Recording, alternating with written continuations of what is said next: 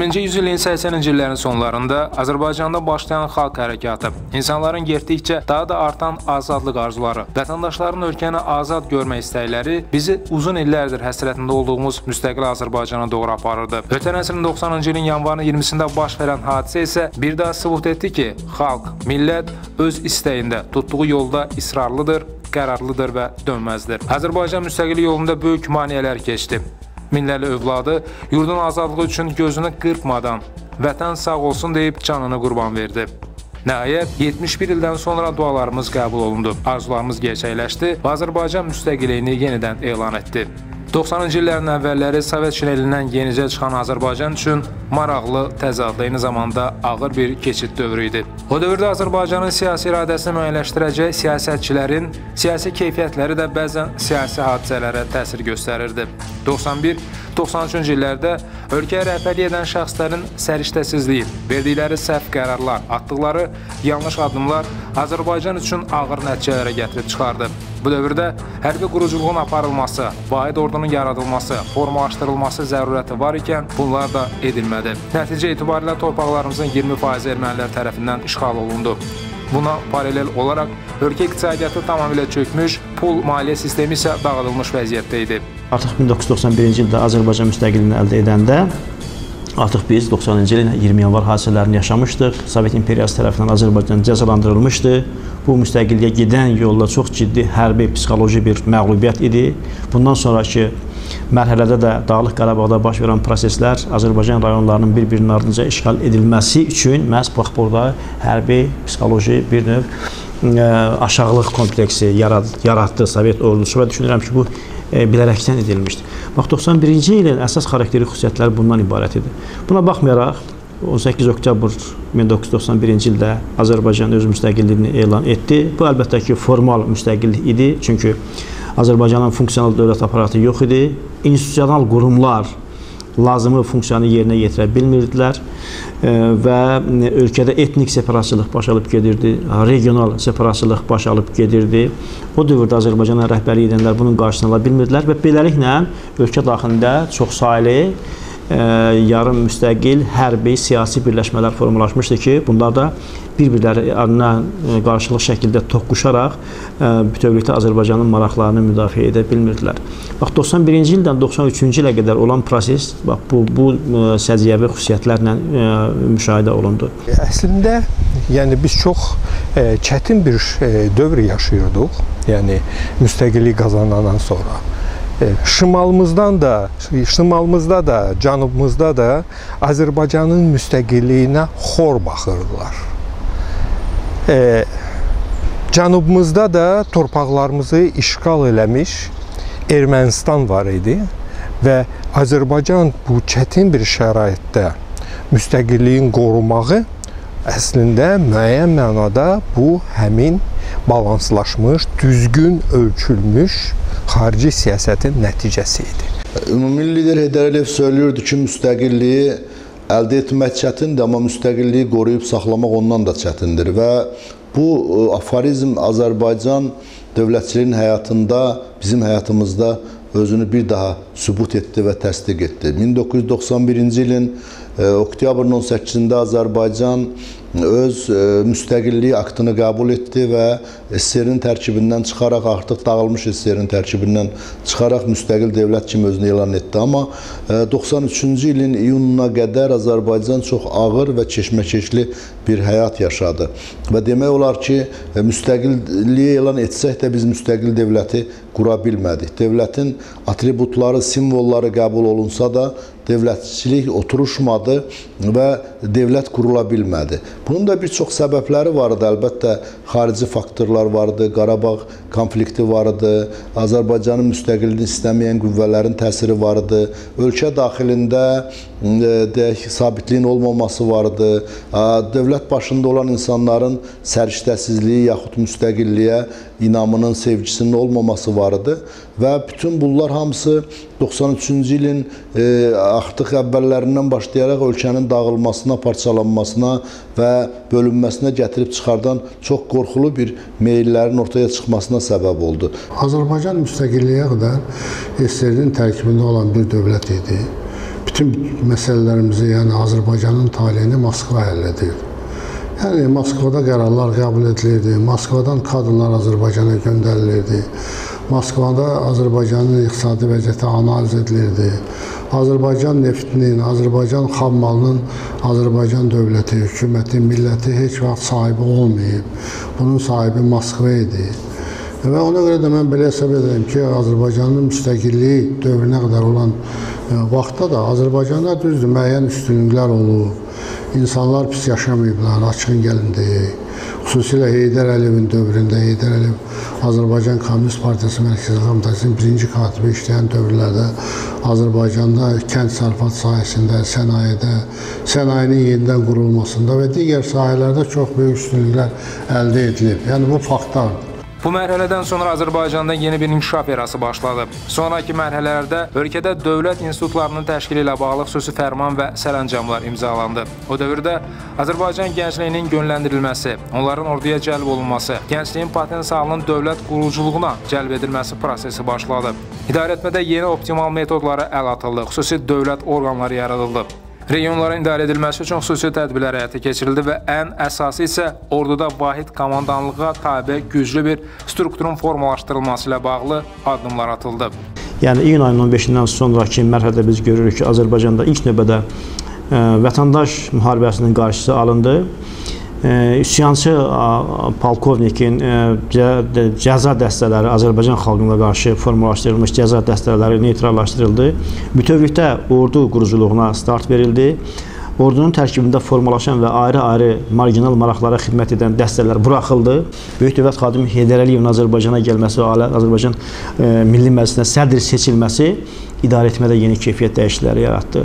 Azərbaycan dövlət quruculuğu prosesində yeni demək mərhələ yaratdı və s. Ancaq əlbəttə ki, Heydər Əliyev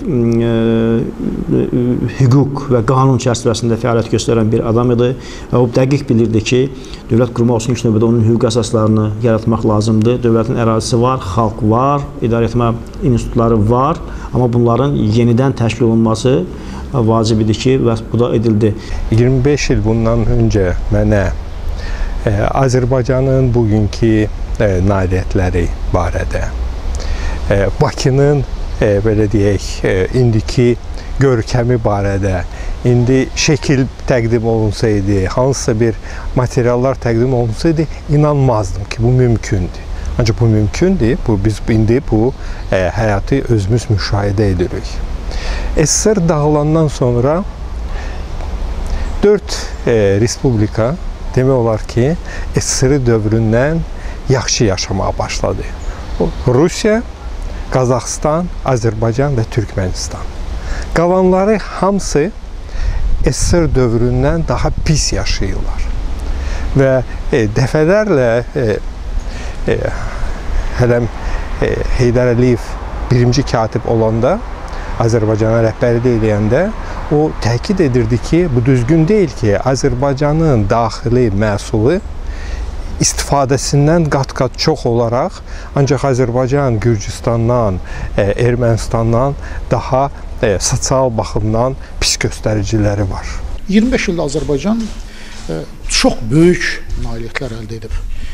Mən deyərdim ki, ən birincisi Azərbaycanın ən böyük nailiyyəti bunun dövlət müstəqilliyinin e, bərpasının dönməzliyi olub. E, yəni bu e, müstəqillik Azərbaycan xalqının çox böyük bir əldə etdiyi nailiyyətdir. Bu müddət ərzində Azərbaycan ilk milli e, konstitusiyasını əldə edib. E, Azərbaycan e, bu müddət ərzində e, 90-cı illərin e, xaosuna, e, dövlət çevrilişinə, cəhdlərə son qoyub. Birmənalı şəkildə Azərbaycanda bir hüquqi dövlət qurulub qanunun aliliyi təmin olunub. Ondan başqa e, Azərbaycanda demokratik cəmiyyət e, qurulub. Bəlkə də kimlərsə də e, üçün də bu bir pafoslu e, ifadələr kimi görünə bilər. Amma mən sizə deyim ki, hüquqi dövlət, demokratik cəmiyyət elə bir təsisatlardır ki, e, bu sonu olmayan bir prosesdir. Nə qədər bəşəriyyət var, insan varsa, bu təkmilləşmə prosesi daim gedəcək. Sözsüz ki, e, Azərbaycanın bir 50 ildən sonra, 100 ildən sonra mövcud olan e, hüquqi dövlət e, anlayışı və demokratik cəmiyyət anlayışı bugünkü gündəki hüquq, dövlət və demokratik cəmiyyətlə müqayisə edilməyəcək dərəcədə təkmil, daha yüksək, daha müasir olacaq. 1994-cü il sentyabrın 20-sində Bakıda Gülstan sarayında Azərbaycan Respublikasının dövlət neft şirkəti ilə dünyanın 11 tanınmış neft şirkəti arasında Xəzər dənizinin Azərbaycan sektorunda Azəri, Şıraq yataqlarının və Günəşli yatağının dərinlikdə yerləşən hissəsinin birgeçlənməsi və həsrətin pay bölgüsü haqqında saziş imzalandı. Və həmin sənəd sonradan tariximizə əsrin müqaviləsi kimi əbədilik həkk olundu. Bu saziş ümumiyyətlə lider Heydər Əliyevin qalibiyyətli enerji strategiyasının əzəmətli təntənəsinin başlanğıcı oldu. Əlbəttə ki, müstəqillikdən danışanda ilk növbədə heç şübhəsiz ki, iqtisadi müstəqillik lazımdır. Əgər bir dövlətin müstəqil iqtisadiyyatı yoxdursa, onun təhlükəsizliyini təmin edəcək e, iqtisadi baza yoxdursa, onun hərbi sənayesini formalaşdıracaq əsaslar yoxdursa, ordusunu e, bəsləyəcək e, istehsal yoxdursa, ərzaq yoxdursa, əlbəttə bu ölkə müstəqil ola bilməz. Ona görə də ilk növbədə Azərbaycanın tarixən mənsub olduğu karbohidrogen ehtiyatlarının Azərbaycanın milli maraqları lehinə istismar olunmasından bağlı xüsusi tədbirlər həyata keçirildi və 1994-cü il sentyabrın ayının 20-sində əsrin müqaviləsi adlandırılan bir müqavilə imzalandı. Bax, bu müqavilədən sonra Azərbaycanın iqtisadi müstəqilliyinin əsasları da yaranmış oldu. Biz bilirik ki, bu da çox ağrılı bir proses oldu. Buna qarşı müxtəlif qüvvələr, xarici qüvvələr vardı, müxtəlif vardı. Hətta o dövrdə Azərbaycan müxalifəti Azərbaycan neftinin hazırki marşrutla deyil, digər başqa ölkələrin ərazisindən keçməklə marşrutun müəyyənləşməsini istəyirdilər. Hansı ki, indi vətənpərvər gözündə görükürlər, gözü görükməyə çalışırlar. Əlbəttə, o da bir təxribat idi Azərbaycanın o dövrdəki milli siyasi iradəsinə qarşı, ulundərin siyasi iradəsinə qarşı. Şimaldan çox ciddi təhdidlər vardı. Hətta biz bilirik ki, əsrin müqaviləsinin imzalandığı gün terror təhlükəsi də Azərbaycan yaşadı. Çox e, çox yaxşı ki, bunun da qarşısı alındı və s. Bax, bu mərhələlərdən keçərək o dövrdəki ağır şərtlər içərisində Azərbaycan bu əsrin müqaviləsini imzalaya bildi və bundan sonra Azərbaycana e, iqtisadiyyatına daxil olan pullar, e, valyuta ehtiyatları, sərmayə Azərbaycanın sonrakı demək iqtisadi inkişafının əsaslarını yaratdı. Müstəqillik əldə etmək o qədər çətin deyil, asandır, amma onu saxlamaq həddən artıq çətindir. Çünki Azərbaycanın müstəqilliyini istəməyən dövlətlər çoxdur. Bizim qonşuluqda olan dövlətlərimiz də Azərbaycanın müstəqilliyini istəmirlər. Heydər Əliyev kimi nəhəng bir siyasətçi məhz Azərbaycanın müstəqilliyini qoruyub saxlanmasına şərait yaratdı. Bunun əsas e, bir neçə amilləri var. Əsas amil 1994-cü ilin 20 e, sentyabrında imzalanmış əsrin müqaviləsi oldu. Bu müqavilənin e, hazırlığına çoxdan başlanmışdı, amma bu dövlət çevrilişləri cəhdi buna imkan vermirdi. Heydər Əliyev özündə mən deyərdim ki, siyasi iradəsini ortaya qoyaraq iri dövlətlərlə, Amerika ilə, Avropa dövlətləri ilə, Türkiyə ilə, Rusiya ilə siyasi əlaqələri quraraq məhz əsrin kontraktını imzaladı. Əsrin kontraktı imzalandan sonra iri dövlət şirkətləri e, Amerikanın, İngiltərənin, Fransanın, Türkiyənin, Rusiyanın şirkətləri Azərbaycana sərmayə qoymağa başladılar və öz sərmayələrini qorumaq üçün Azərbaycanda dövlət çevrilişinə olmasına imkan vermədilər. Bu böyük bir addım idi. Yəni bu əsrin kontraktı fakti olaraq Heydər Əliyevin mən deyərdim ki, unikal bir siyasətinin nəticəsi idi ki, bu kontrakt bağlandı və Azərbaycanda dövlət çevrilişinin müəyyən qədər qarşısı alındı və bundan sonra Azərbaycanda bilirsiniz ki, iqtisadiyyat inkişaf eləməyə başladı. Heydər Əliyev torpağın özəlləşdirmə prosesini həyata keçirdi. Sonra ümumiyyətlə özəlləşdirməni bəli, təzə 95-ci ildə təzə konstitusiya aktı qəbul elədi. Yəni bütün bunları hamısı strukturları dəyişdirdi. Azərbaycan əhalisinin mən deyərdim ki, istəyini nəzərə alaraq bir sıra problemin həlli üçün imkan yaratdı. Avropa Asiya qitələr arasında yerləşən və buna görə də əhəmiyyətli strateji mövqe olan Azərbaycanın müstəqillik dövründə sürətli inkişafı, xüsusən son illərdə ölkədə baş verən iqtisadi irəliləyiş diqqəti cəlb etməyə bilməz. SSR-nin süqutu ilə baş verən iqtisadi böhran təbii ki, müstəqilliyin ilk illərində ölkəmizdən də yan keçmədi. Mövcud iqtisadi inkişaf o zaman dağılan iqtisadi bağların, müasir standartlara uyğun gəlməyən infrastrukturun və olmayan dövlətçilik ənənələrinin üzərində qurulduğunu nəzərə aldıqda, ötən qısa müddət ərzində əldə edilən uğurların əhəmiyyəti də daha səlis anlaşılır. Digər problem kimi Qarabağın işğalı nəticəsində ölkə iqtisadiyyatına, infrastruktura dəyən ziyanı da qeyd etmək lazımdır. Çünki məhz bu ədalətsiz işğal səbəbindən 1 milyondan artıq azərbaycanlı hazırda dövlətin himayəsi altında yaşayır və tarixi ərazilərin iqtisadi potensialından istifadə imkanından məhrumdur. Eyni zamanda hər il milyardlarla manat büdcə vəsait ölkənin müdafiə qabiliyyətinin möhkəmləndirilməsinə yönəldilir. Lakin sadalanan ciddi problemlərə baxmayaraq ölkəmiz həm iqtisad, həm də digər sahələrdə yüksək sürətlə inkişaf edir. Son 25 ilin iqtisadi mənzərəsini daha aydın təsəvvür etmək üçün müxtəlif sektorlara və sosial göstəricilərə ayı ayrılıqda nəzər yetirmək maraqlı olar. Deyim ki, ümumi lider Heydər Əliyevin e, bütün dövlətçilik idarəçilik siyasətinin mərkəzində Azərbaycan xalqı dururdu və dövlət xalq üçündür ideyası Heydər Əliyev siyasətinin başlıca xətti idi. Və bu mənada sosial sahə əlbəttə xalqın güzəranının yaxşılaşdırılması, xalqın əmək şəraitinin yaxşılaşdırılması, yaşayış şəraitinin yaxşılaşdırılması çox vacib bir e, faktordur. Amma 90-cı illərdə Azərbaycan çox ağır bir həyat keçirirdi. Bilirsiniz ki, e, 88-ci ildən başlayan Qarabağ müharibəsi 91, 92, 93-cü illərdə düz 94-ün may ayının 12-sində atəşkəs elan olunana qədər çox ağır faciələrə gətirdi, çıxartdı. Torpaqlarımızın 20% işğal olundu. 1 milyona yaxın soydaşlarımız qaçqın və məcburi köçkün vəziyyətinə düşdülər. 20 mindən çox insan e, qazi oldu və öz sağlamlığını itirdi. Müxtəlif dərəcədə əlillik e, səbəblərindən onlar pensiyaya çıxdılar. 30 minə yaxın insan şəhid oldu və onların ailələrini dövlət öz himayəsinə götürməli oldu və belə bir halda əlbəttə sosial müdafiəni təşkil etmək olduqca çətin idi. Bir də onda nəzərə alsaq ki, Heydər Əliyev hakimiyyətə gələndə Azərbaycan dövlət büdcəsində cəmsi 250 milyon dollar vəsait var idi. Və bunlar çox çətin işlərdir, amma ümumi lider öz siyasi təcrübəsindən, özünün əlaqələrindən, beynəlxalq aləmdə olan nüfuzundan istifadə edərək Azərbaycana humanitar yardımların gətirilməsini təşkil elədi və ilk növbədə qaşqın və məcburi köçkünlərin yerləşdirilməsini təmin elədi.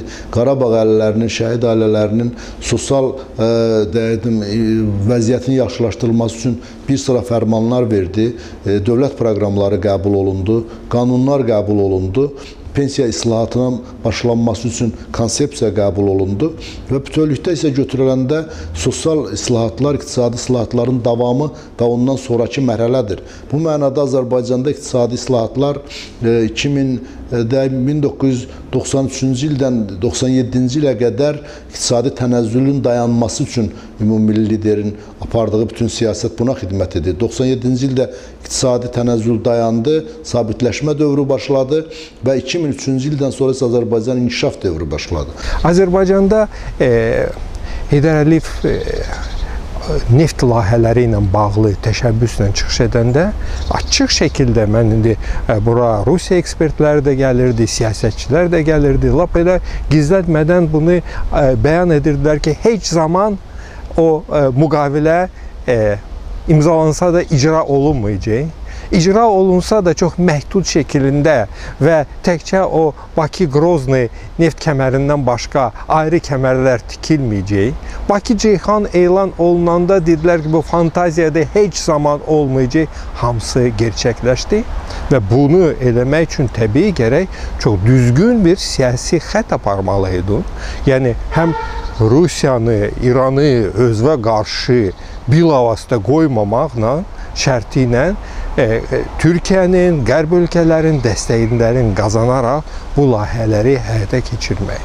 Və bu əslində təkrar edirəm, gözün göz qabağındadır və Azərbaycanın o e, düzgün xarici siyasətdə balansı tapmağı, yəni ümumi söz deyilir ki, balanslaşmış siyasət. O balansı tapmaq lazımdır. Özü də o əbədi bir şey deyil.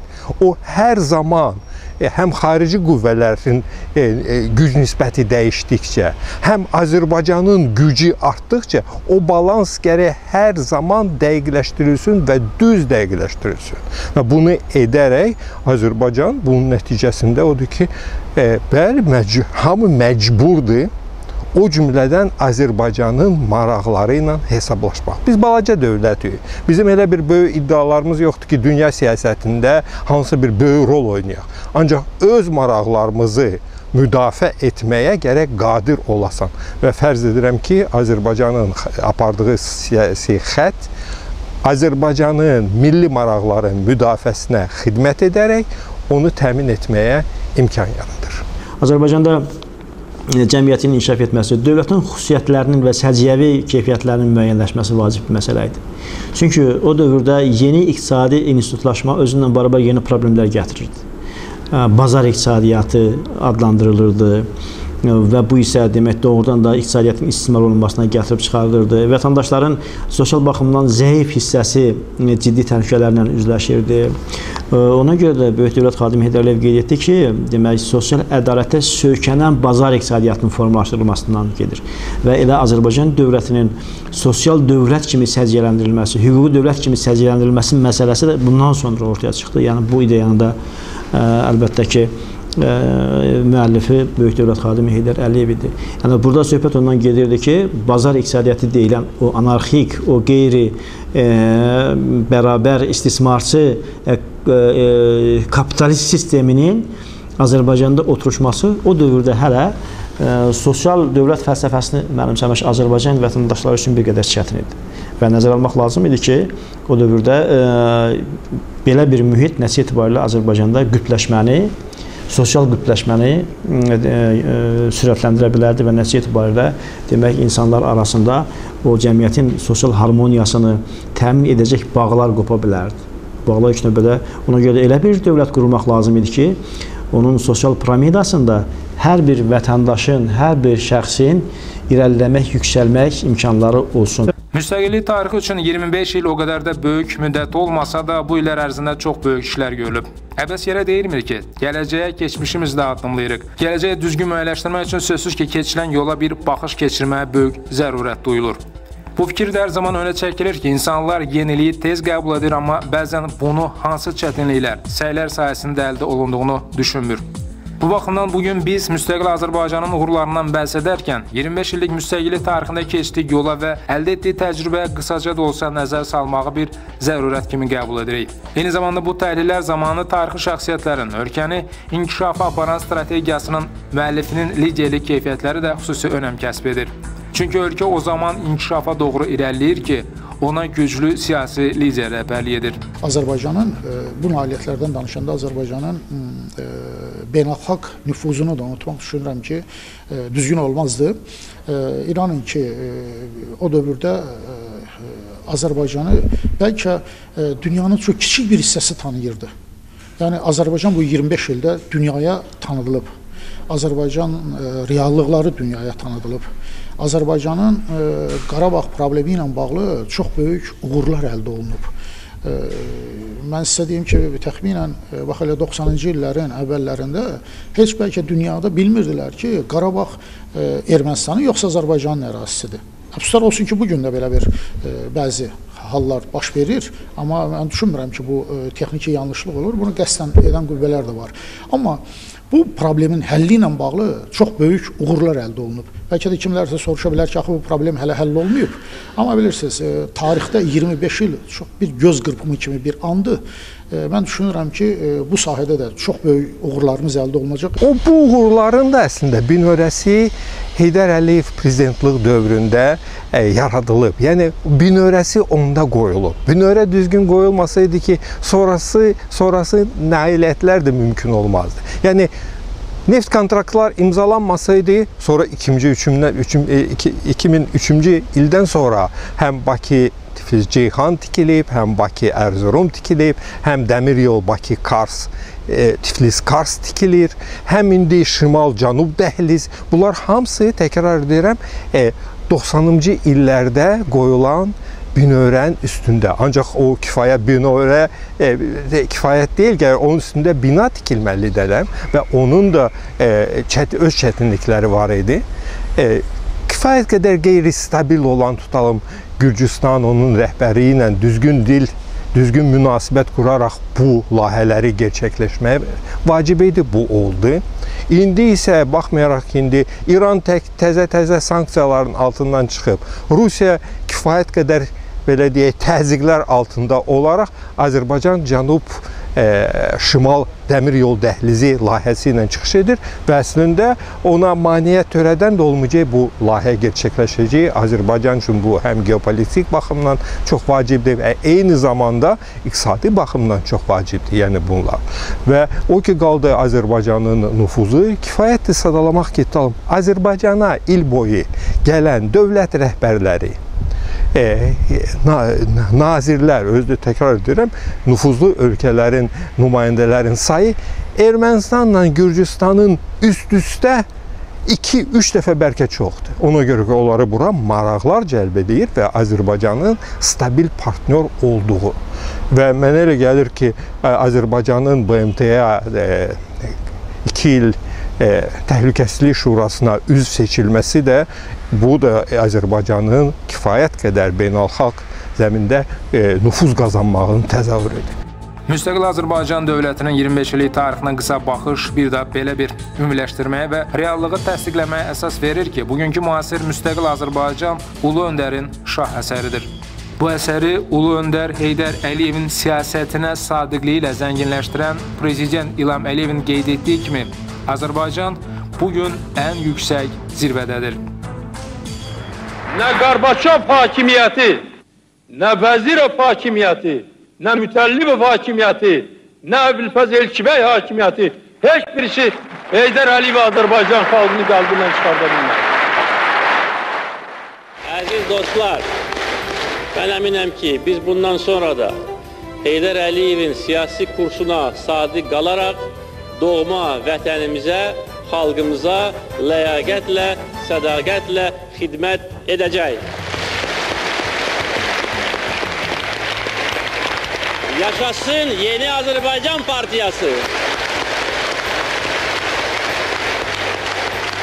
Yaşasın Heydər Əliyevin əsəri olan müasir, müstəqil Azərbaycan Respublikası.